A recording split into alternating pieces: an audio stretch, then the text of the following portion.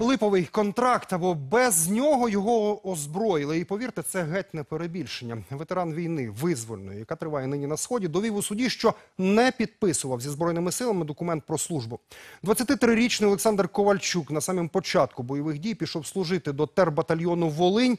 У травні 15-го він зазнав осколкового поранення і статус отримав трохи згодом інваліда війни. А вже в шпиталі дізнався, що буцімто служить за контрактом у війську. От тільки власного підпису на документі боєць не впізнав і пішов до суду.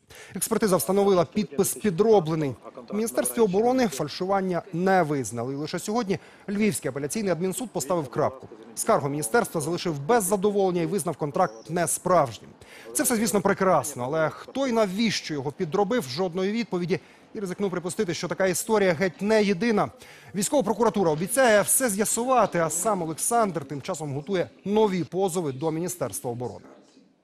Таких до надійшла відповідь з Львівського інституту судових експертиз, що підпис зроблений технічними засобами, тобто був фактично підроблений і підроблений не кульковою ручкою чи іншою гелевою, а був взагалі технічними засобами.